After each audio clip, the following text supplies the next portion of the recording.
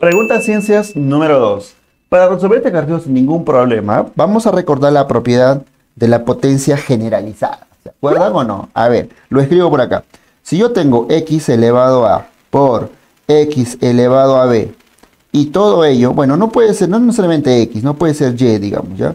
Pero todo ello elevado a n, solo en la multiplicación, ¿no? Prácticamente este exponente se, se distribuye, pero si ya tienen exponentes, los multiplica o no. En otras palabras, nuestro resultado será x elevado a a por n. Y en este lado será y elevado a b por n. De esa forma, ¿no?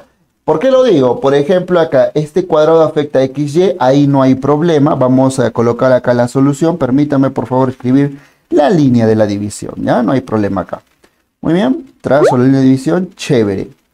Ahora, como les dije, ¿no? Este 2, al ser una multiplicación, afecta al x y afecta al y no hay problema. Entonces sería x al cuadrado por y al cuadrado. Lo máximo ahí, ¿no?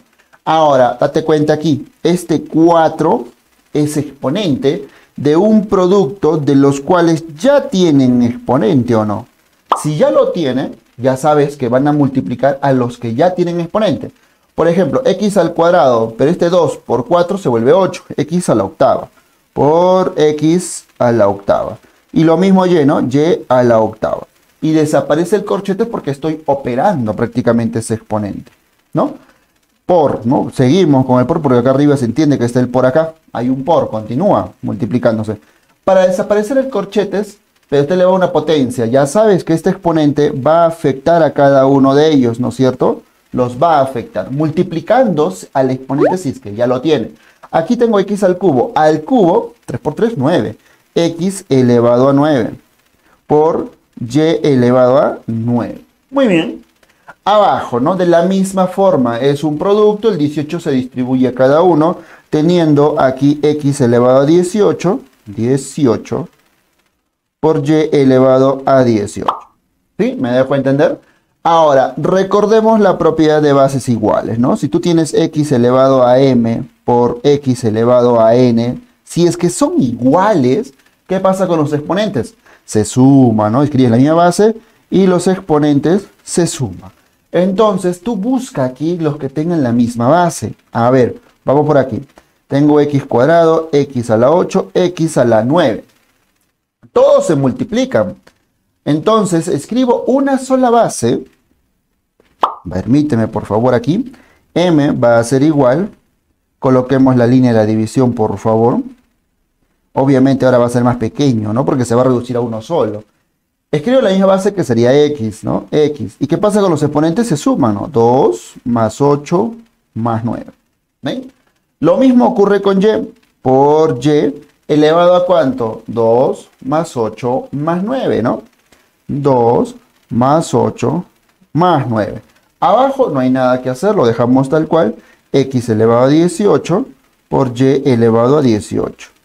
Ahora, arriba ya hay que operar, ¿no? Ya hay que operar. Por lo tanto, M va a ser igual. Permítame, por favor. En breve continúan con la clase demostrativa. Permíteme, por favor. Somos la Academia Preparatoria Ciencias. Y aquí nosotros brindamos la confianza de sus hijos para que ellos puedan dominar todos los cursos de matemática, física, química. Nosotros como padres siempre buscamos lo mejor para ellos. Y es por eso que aquí, con las clases en vivo, puedes aprender matemática, física, química desde casa, con el único objetivo de poder aportar con ellos para que puedan lograr sus metas y logros. Somos un grupo de docentes en el cual estamos altamente capacitados y experimentados porque entendemos muy bien cómo es que debemos llegar a nuestros hijos. Y es aquí donde nosotros te brindamos la oportunidad de confiar en nosotros para que reciban ese gran aprecio, esa gran confianza que sus hijos van a ganar. Así que, por favor, continúa con la clase demostrativa para que puedas verificarlo. Con la línea de división, chévere, ahí está.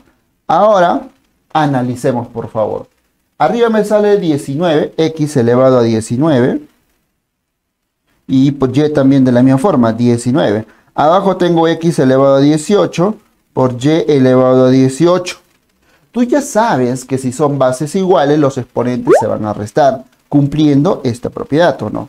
Yo tengo x elevado a m sobre x elevado a n, tendríamos x elevado a m menos menos n, ¿no? Se escribe la misma base. pero los exponentes se restan. Entonces, el valor de m para este caso, ¿no? Para este caso será, escribo la misma base que en es x, ¿no? Solamente me interesa lo que es con x. 19 menos 18 me queda 1. Ahí está, ¿no? Lo mismo con y me va a quedar 1. Entonces tu respuesta es x por y elevado a 1. Si tú quieres, ese 1 no es necesario que lo escribas porque ya se entiende que ahí tiene un exponente 1. Con ello hemos terminado y el valor de m es simplemente x por y.